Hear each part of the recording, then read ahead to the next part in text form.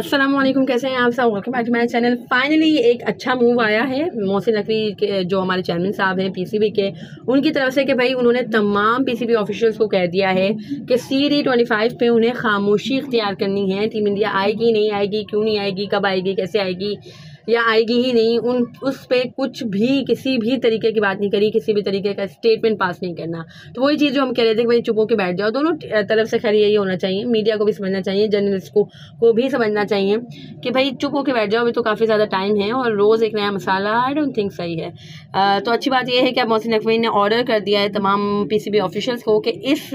Topic पे कोई बात या कोई भी स्टेटमेंट नहीं दिया जाएगा। मज़ीद खैर, जो बजट पास हुआ था, जो आईसीसी की मीटिंग हुई थी, उसमें जो बजट पास हुआ था चैम्पियंस ट्रॉफी के लिए, उसके है कि कुछ सेवेंटी मिलियन डॉलर्स पाकिस्तान को दे दिए गए हैं, पाकिस्तान क्रिकेट बोर्ड को दे दिए गए हैं प्लस चार अशालिया पाँच मिलियन डॉलर्स मज़ीद साइड पे रखे गए हैं। बहुत से लोग यही कह रहे हैं कि वो उसी ट्रैवलिंग एक्सपेंस वगैरह हैं, जो टीम इंडिया नहीं आएगी और जो हाइब्रिड मॉडल के तहत होगा तो इसलिए four point five million dollars का बजट रखा गया है। बट ये खैर बजट मैं बताती चलूँ कि ये रखा जाता है, हर इवेंट हर मेन आईसीसी जो इवेंट्स होता है, होते हैं, उनके लिए एक्स्ट्रा बजट रखा जाता है कि कहीं अगर कुछ एक्सीडेंटली कुछ ज़रूरत पड़ जाए तो मतलब ये बजट मौजूद हो तो दैट्स वाई ये रखा गया but still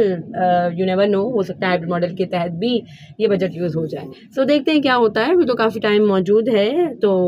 देख लेंगे जब होगा तब देखा जाएगा।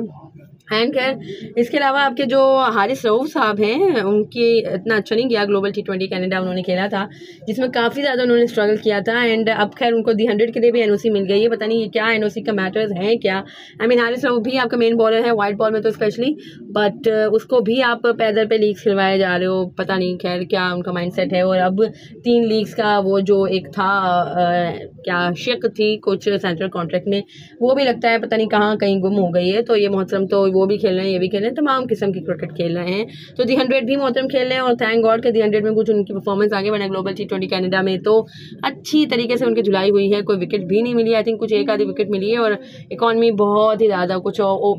ऑलमोस्ट नाइन की इकॉनमी के साथ उन्होंने रन दिए हैं। बट दी हंड्रेड में पहले मैच में ही was mind blowing and as I said earlier कि भाई दी हंड्रेड हो रही है इंग्लैंड में। एंड इंग्लैंड की कंडीशन पाकिस्तानी पेसर्स को बहुत ज़्यादा सूट करती है। खैर कैनेडा की भी कंडीशन पाकिस्तानी पेसर्स को सूट करनी चाहिए थी बट हो सकता है खैर कुछ नया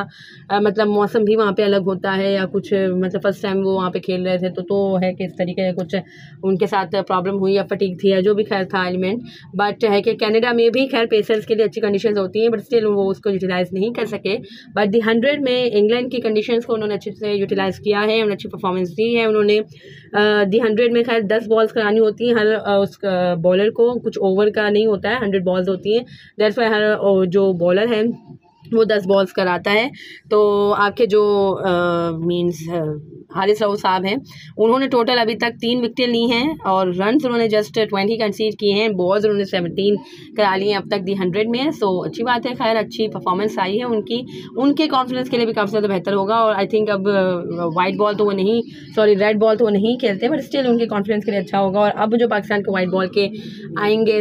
जो भी सीज़न आएगा स्टार्ट होगा, उसमें शायद उनको कंसिडर किया जा सकते हैं बट स्टिल मैं हमेशा ये कहती हूँ भाई लीग की परफॉर्मेंस पे इंटरनेशनल पे नहीं सिलेक्ट करो।